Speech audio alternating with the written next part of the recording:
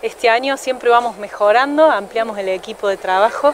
La verdad que la programación de las actividades fue, armamos un organigrama todos los días, los chicos, bueno, siempre que el clima permitió, ingresaron a la pileta, hicieron actividades recreativas, siempre algo de arte, hicieron karaoke, baile, eh, muy integral la verdad, eh, el taller, eh, agradecida por, por el equipo de trabajo tanto de los docentes como de la articulación con diferentes áreas de la municipalidad y a la familia por acompañar a los chicos y más que agradecidos. Un millón de gracias a los tropes y no nos imparables, un millón de mil gracias a los tropes, a la Cotapina, a gente aquí en la casa, al MECO, muchísimas gracias, y a los periodistas que vienen a hacer una nota.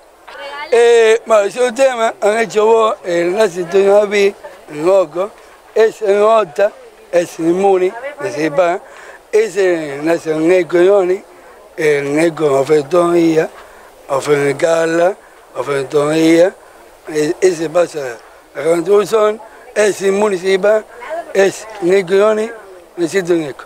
Eh, estoy muy emocionado porque ya se termina y bueno, quiero a todos, eh, a todos los compañeros que estaban y bueno, a las señoritas eh, que hicieron mucho para nosotros y bueno, para ella y bueno, para Josefina y bueno, y para todo. Este regalo es para todos los periodistas que le vamos a hacer eh, una entrega a los periodistas. Sí, eh, la verdad que sí, bueno, primeramente a la que siempre estuvo conmigo y que es mi esposo incondicional, es mi mamá, Viviana Noemi Coria. Y primero se lo dedico a ella porque es mi mamá y sabe que la amo, me lleva a todos lados. Segundo, eh, bueno, a Aureana, a todas mis profesoras, lo mismo que a mi Elena Godoy, por darme esta oportunidad. A José Pereira, por darme esta oportunidad. A Josefina Garrone también, que siempre estuvo ahí, siempre para escucharme y esposarme siempre.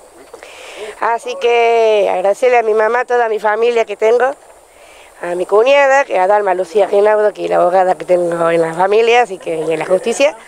Así que agradecerle a ellos, porque gracias a ellos soy la mejor bailarina de folclore, que nunca me habían y es la primera vez, así que estoy muy feliz, muy contenta de participar en esto, que la verdad que es un sueño para mí y otro sueño que se me ha cumplido también, así que la verdad que estoy muy feliz.